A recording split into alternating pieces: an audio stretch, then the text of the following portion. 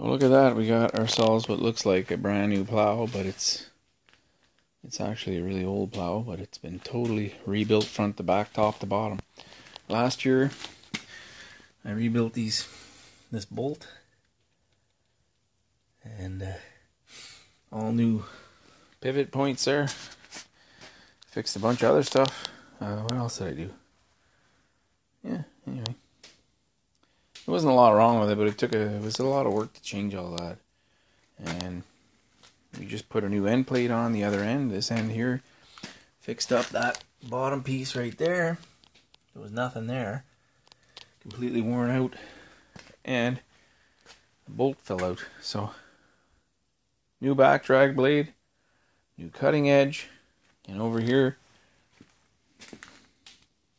this is the end where we put the new end plate. This is an end plate off another plow we're not using right now, so I kind of robbed it from that plow.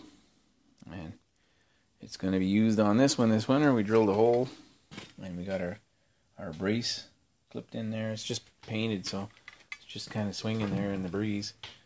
There's only one pin at the top. And needs a second coat tomorrow.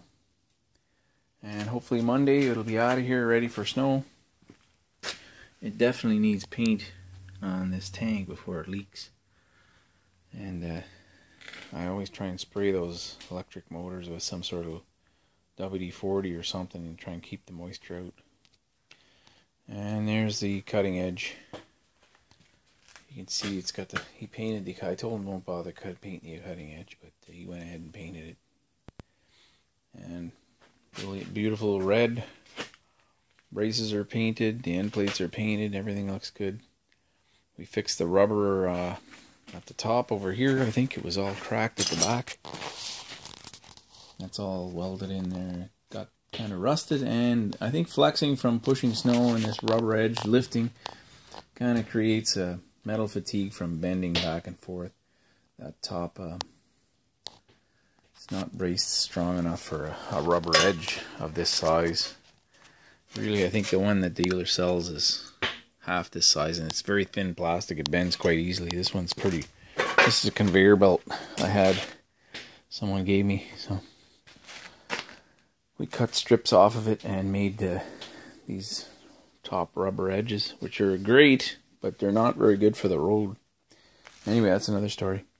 So that's ready to be put back into service there once we get the second coat on the back. And the tractor fits in here. The first time we've had this tractor for 14 years. Yeah, there it is. So, uh, that's a 90. That's about a 90. Uh, no, it's, not, it's 2001 or 2002, I believe.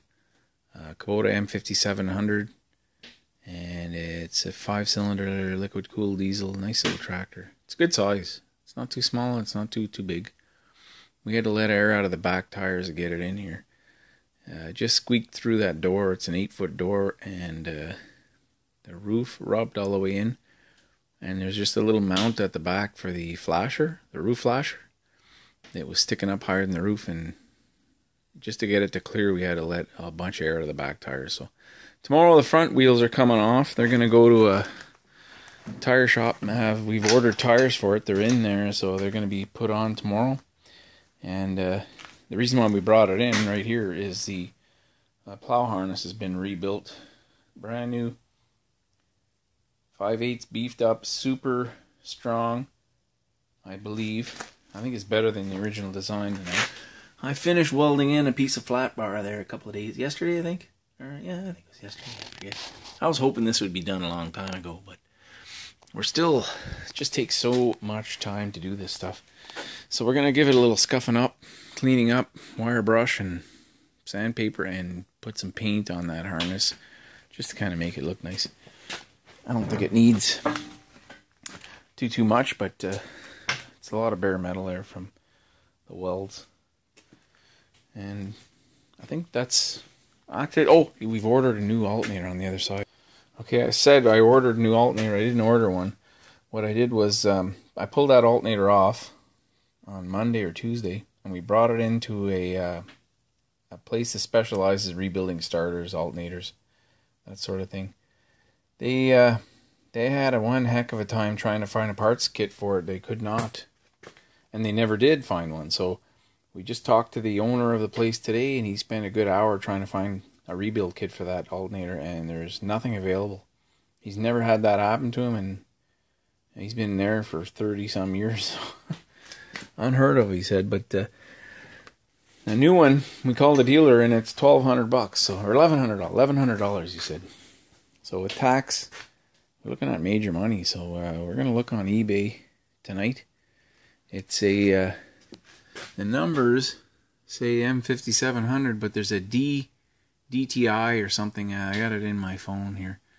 Um, I've got the name of the the three letters that go after this to be able to narrow down what size alternator. I think any alternator would fit this, but because it has air conditioning, you need a, a larger amperage alternator. So if that's what it costs for an alternator, I hate to know what it costs for a starter. Although I think that guy can rebuild that, but who knows? So that's the kind of thing that starts going on a machine that's about 15, 16 years old, is stuff like that. Um, alternators, starters, uh, fans, fan motors, wiper motors. And it's the first set of tires we're going to buy for this. We've bought, we have both summer which are turf tires, which are on the back, and we have winter, like the ag tires. And uh, I left the turf tires on because they're so much lighter uh, to float this thing back and forth. Uh, I think the tires weigh um, over a thousand pounds each. With they have liquid in them as well. Uh, they have cast iron centers, which are about four inches thick. So there's uh, there might be eighteen hundred pounds. I don't even know. Fifteen. I've never weighed them. So there's there's a a lot of weight to transport here and back out to the same site it's working at for nothing. They might as well leave. See the the ag tires are out there, so when we get it back, we'll jack it up, switch the tires, and it'll have the brand new front tires. Because these were so bald, these tires, we never put the turf tires on the front this summer. One of them had a leak, so figured you know why bother. And it's in two wheel drive all the time. The only time we uh, we pop it in four wheel drive is if we're spinning and we know we need it. So that's not a big deal if the if the tire sizes are not matching for the four wheel drive. So, but the ag tires, the winter tires that go on the back, they're old and they're worn a bit. And these these will be two brand new front tires. I still think we'll be all right because if you're out on wet pavement, we tend to you know slip it into two wheel drive. So, okay, I'm rambling too much, but uh, that's what I've done this week. This is Thursday, and uh, it's raining out. That's why the tractor's all wet. We couldn't paint it outside. So I'm hoping we get that done. And next week, this is being. Uh, I hope we have the alternator, and uh, everything comes together, and it's sent out to that site. We'll get the back tires on. No rush for that, because we can use it on snow like it is right now. But uh, yeah, things are wrapping up here. We're, we're going to be on to the next machine. My the truck I use has a plow that's about eight years old and it needs a total rebuild on the center again. But I know what to do this time. It's uh, there's not any guesswork here. We're just gonna get bring it in and get it done. I need a one inch hole drilled through a piece of solid steel and or a bushing of some kind. I haven't really decided how I'm going to do it. I got to figure out what material I'll use, but I know what I have to do, and it shouldn't take too too long. I hope. And that's it.